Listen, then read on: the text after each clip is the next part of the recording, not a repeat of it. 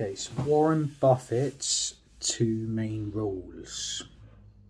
Okay, so is rule number one is never lose money. Don't lose money. And rule number two is never forget rule number one. Okay.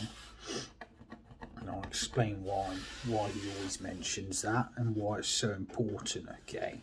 So you get grips with it. Most of you know this, but um, if you're starting out, then this will be beneficial, okay?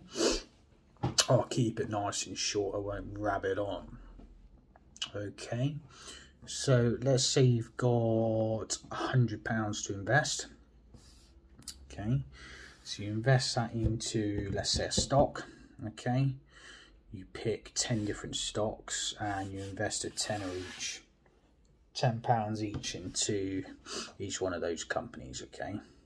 and let's say you picked really badly, you didn't research any of the companies or anything,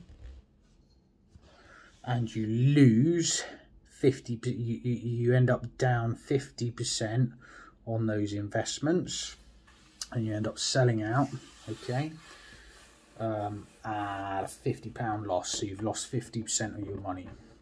Now, it's much easier to do that than getting that money back. Okay, so to get that uh, hundred pounds back again from your fifty pounds, you have to make a hundred percent on your money. So you lost fifty percent.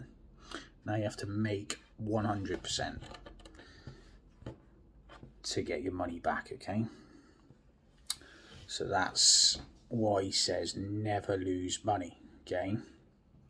Now I'd like to add some other rules as well. So always pay off any high interest debt. Okay, so like a credit card.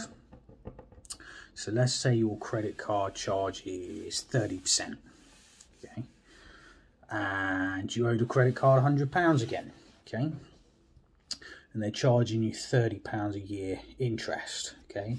So your hundred, you've got to picture it as an investment. Okay. It's the opposite of an investment. So that £100 that you owe the credit card, you don't pay it off. And then you pay 30% interest. So that turns into 70 quid, okay? But you owe 130, but it's equivalent. Let's say you lose 30% on an investment, okay? That turns into 70 and you've got to make nearly 50% on your money to recoup that investment okay so to compete with um, not paying a 30% interest debt off you know you'd have to make more than 50% on an, another investment so really that's that's not doable over the long term. So you're better off, your best investment would be to pay off the credit card, if that makes sense. Okay. Um, and then you want to build out an emergency fund. So if stuff hits the fan, um, like we're going into a recession, um, the last thing you want to do is sell out of investments that are down, okay? if you're investing in great companies. Let's say there's stock market crash. If you don't have that emergency fund, you end up selling at like really low value, low prices, and it'll take you a long time to get back to where you came from. Okay,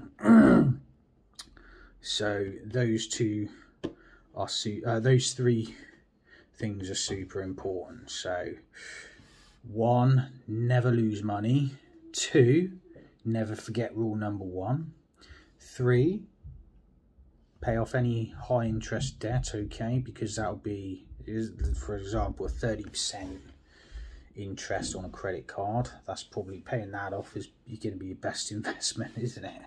Okay, and then four, build out a nice um, emergency fund okay so that if anything hits the fan you don't have to sell any investments because For example, the stock market is very volatile. Okay, you want to be buying when it's low and holding and when there's a better opportunity somewhere else, you know, uh, and you can sell high. That's that's you know you want to um, what's the word? Have control over you know when you can buy and sell. Okay, so say for example you invest 500 pounds and you have like a really bad stock market crash and that 500 pound turns into 100 pounds okay and you have to sell because you don't have an emergency fund a hundred pounds you're gonna have to five x your money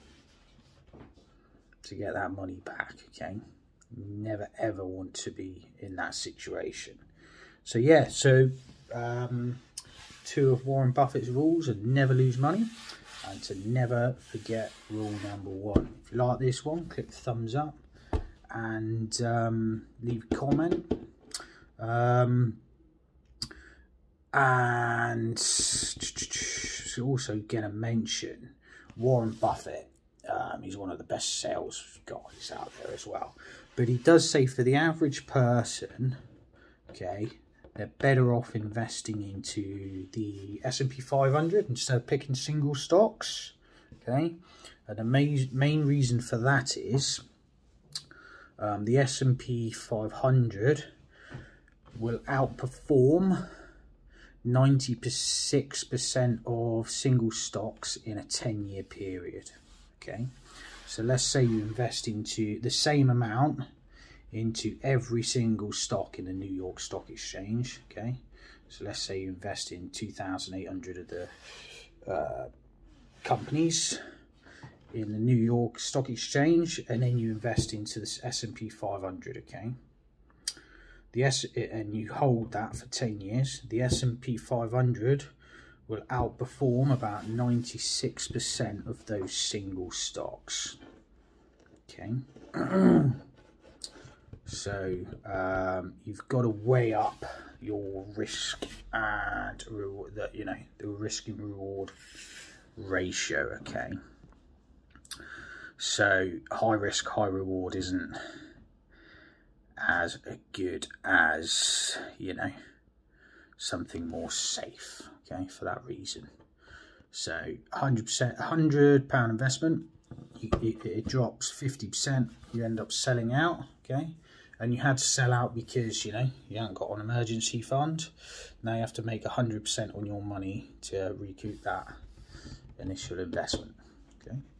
Thanks for watching, guys. Hope you like this one. Leave a comment if you like it and subscribe click that bell notification so you get notified of future videos and leave a comment uh, if you've got any questions and I might be able to do a video around that. Cheers guys. See you on the next one. Peace